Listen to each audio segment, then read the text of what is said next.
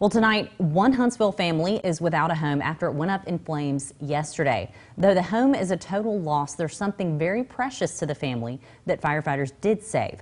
Our Kenesha Dees has details about the dramatic rescue from fire crews, and she talked to a next door neighbor. This home, secured with caution tape, is abandoned after a fire ripped through it. Now, a family of four is searching for a new place to live and call home.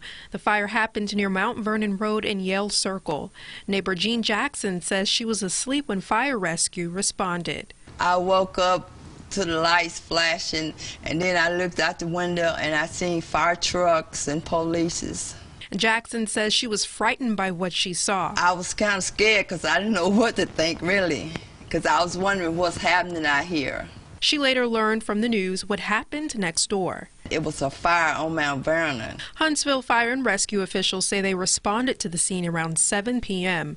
The Huntsville Police Department and Huntsville Emergency Medical Services were also there.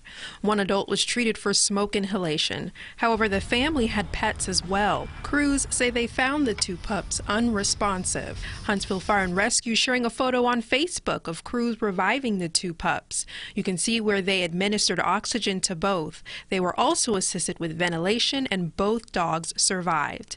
Jackson is also thankful that no lives were spared. I'm just so glad that nobody got hurt. Fire Rescue advises people that when there is a fire to get out and not leave the doors open. Putting the valley first, Kenesha Dees, WZDX News. The family is being assisted by the Red Cross. Fire and Rescue are investigating the cause of the fire.